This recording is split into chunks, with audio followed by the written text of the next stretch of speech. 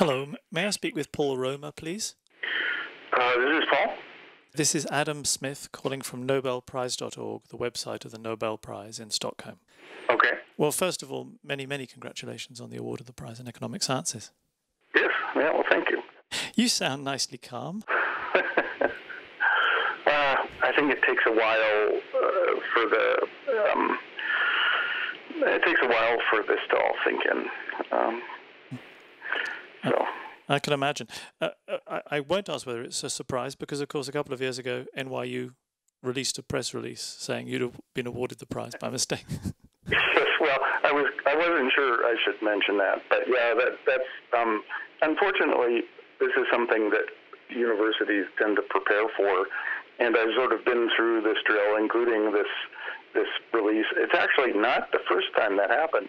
There was an email that went out when I was at Stanford that um, uh, sorry, stop this. Um, so um, so anyway, I've got some experience with with this, but. Yeah. Um, uh, nobody, I think nobody prepared a press release at any university this time, and I, I was sound asleep, so it caught me off guard. well, never mind. They can dig out the old ones. I guess so. Um, you've been awarded the prize for analysing the relationship between innovation and the economy.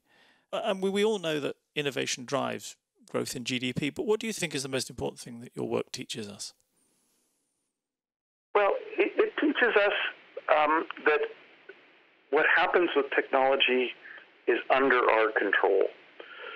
If we collectively set our minds to improving technology of a particular type, we can do that.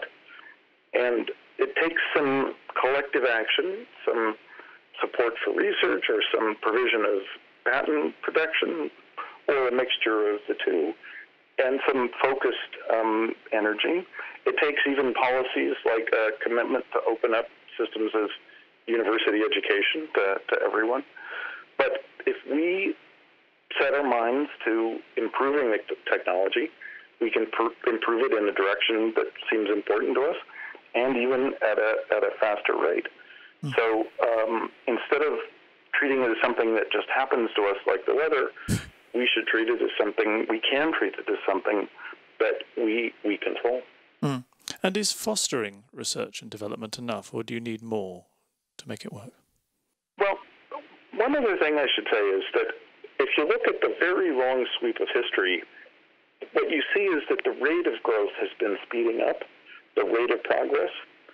And that's because there are more and more people who are all engaged in this process of discovery. And then once anyone discovers something, they can they can share it. So a very important part of supporting this kind of research is making it possible for as many people as possible to know what we've already discovered, to communicate what they've discovered, and to share this process of learning what we know and then uh, going out and making making new discoveries. Mm. So it isn't just a question of what any one nation does, but it's also a question of how effectively we connect with everybody anywhere in the world and uh, share all of the insights that are discovered anywhere. But when, when I think about, uh, say, a pharmaceutical that might you know, help keep my mind sharp uh, in 20 years or 30 years, um, I don't care if it's discovered in the United States or someplace else in the world. I just care if it, somebody discovers it, and if there are a lot more people all over the world working on uh, things, then um, it's much more likely that we'll, we'll discover them. Indeed, and uh, and there seems to be a race among nations to become the technological leaders, of course. But then one also has to think about the nations that are left behind, perhaps. Yeah. Well, but this notion about this possibility of sharing is a very optimistic uh, result for countries that are left behind. They don't have to reinvent the wheel. They can uh, take advantage of what's already known. And so the challenge of development is figuring out what are the impediments that prevent that flow of knowledge to those countries, and what can policymakers do to remove those impediments and then take advantage of this very rapid growth that countries get when they start catching up. Lovely, thank you. Well, hopefully, we'll get a chance to talk about all this and more when you're in Stockholm in December uh, to receive your prize. Yeah. Thank you so much, and once again, congratulations. Okay. Thank you. Good. Thank you.